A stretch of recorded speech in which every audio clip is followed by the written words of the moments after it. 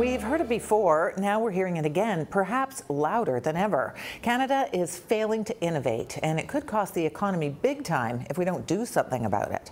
The Science, Technology and Innovation Council has released its annual State of the Nation. It compares innovation here to our global competitors.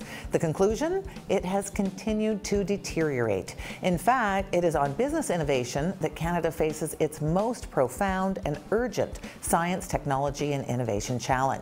The problem, according to the report, is that businesses aren't spending on research and development. We ranked 18th on this in 2006. We've since dropped to 26th place. In that time, total business investment in R&D is down by a billion dollars.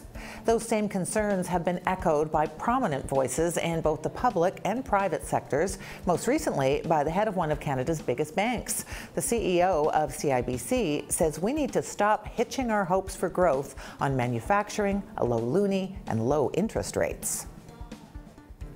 In a speech last week, Victor Dodig told a crowd in Ottawa over the last decade, Canada lost uh, 10,500 manufacturing plants. The reality is that going forward, economic growth will come from different kinds of businesses across all key sectors of our economy, all driven by innovation.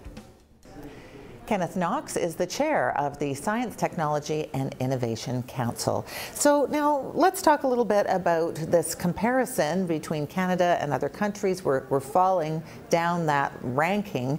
What is it that those other countries are doing that Canada is really missing the boat on? Well, thanks, Dianne, and thanks for having me. Uh, there are three different things that we measured uh, using the data available with our comparator countries around the world. Uh, one of them is the actual spending on research and innovation. Another one is on IT uh, expenditures. And the third one is uh, absorbing talent into their workforce. So on all of those three things, uh, we measured and uh, regrettably came up lacking on all three. Yeah, that's very discouraging.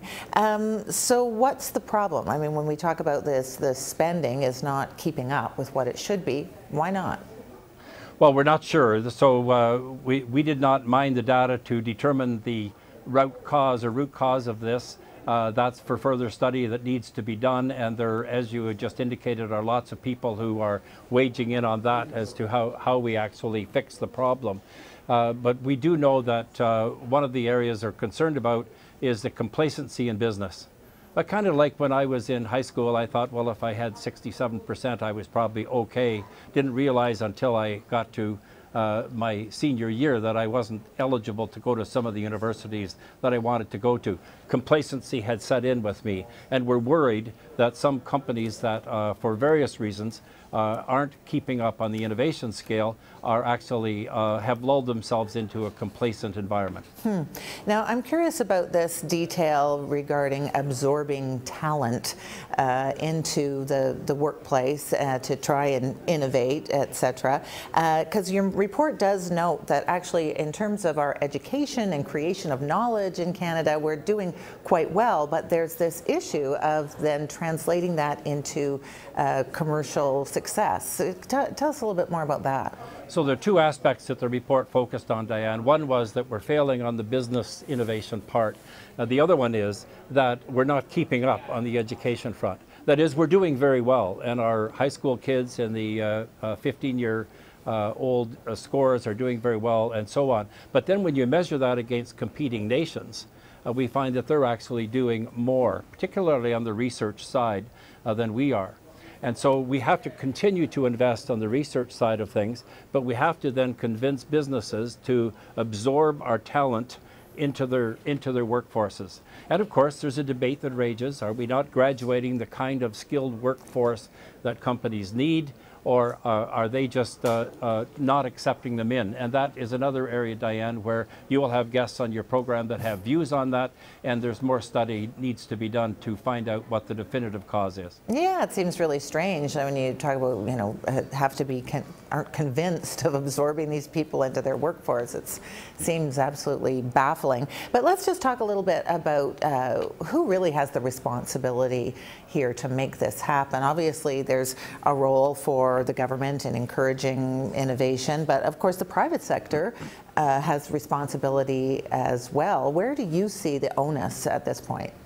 So what we report on is that uh, we call it a systems approach, or everybody uh, needs to participate. And I, th I, think the analogy that I would use there is that uh, building an economy for a country is very much like building a star hockey team. Unless you're prepared to pass the puck back and forth and not blame each other when when the puck doesn't go in the goal, then we're never going to be a competitive team. And we need to develop that team spirit. So certainly the private sector uh, has to come up with sector strategies of some sort so that we can ensure from a governmental point of view and from an education point of view that we're playing the role that needs to be done uh, to help them be successful. They are going to drive it at the end of the day. Government can't force feed them to be innovative, that's for sure. What government can do is take a look at the toolkit that it has, both indirect support for business and direct for support for business, and say, do we have that mix right? Or are there other instruments that we should put in place so that we can help companies innovate? Are there things that we have in a policy perspective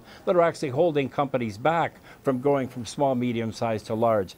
Unintended consequences of some of the levers that we've been pulling over the last, last period of time. And then there's the university sector that also needs to be involved in the conversation to ensure that we're do, doing the right thing from the point of view of graduating people, that's colleges, polytechs, and university, and also are we doing the kind of research that is going to help those companies innovate. A systems approach, Dianne, is what we need in Canada. All right. Well, I was fascinated also to see that small companies are doing very well. We'll have many more interviews on this subject, I'm sure. Thanks for being with us today. Thank you very